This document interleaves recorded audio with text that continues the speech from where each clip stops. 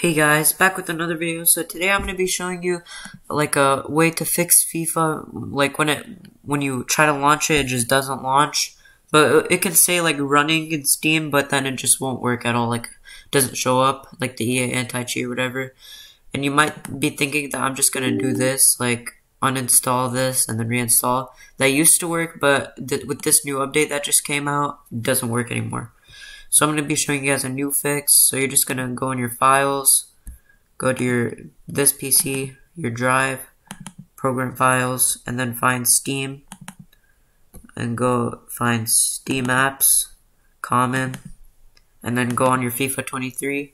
So now you're going to find these two, EA Anti-Cheat Game Service Launcher and the DLL. So just go on the DLL, right click it, properties, go to digital digital signatures, click on it and click details, view certificate, and then you're gonna click install and leave all the options default. Just click next, next, and finish. That's all.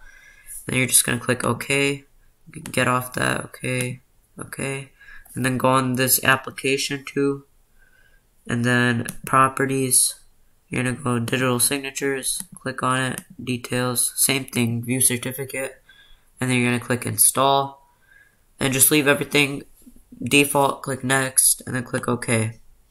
And then after that, your FIFA, when you launch it, it should work perfectly fine. And I'll also show you guys, when I did that, mine's worked too, so I'll show you guys. But also, if like, when you try to launch your um, EA, or FIFA 23, and then it'll say EA, and it says administrator access required, that's what it showed for me.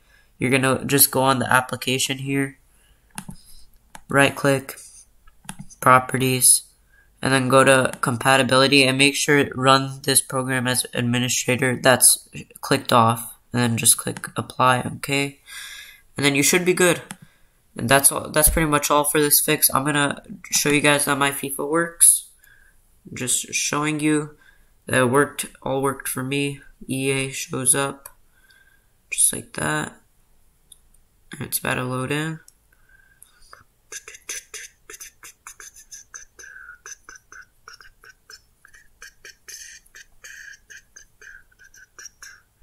Just waiting. Alright, and then there it is. EA anti-cheat, and it finally works. I've been searching for like a solution this whole time, and I finally found it. There hasn't been any YouTube videos on this. You guys probably just saw the reinstall the EA anti-cheat and then install it again, but that doesn't work anymore. But yeah, this way does work. And see now FIFA is about to launch. You can see there's my FIFA. Yep.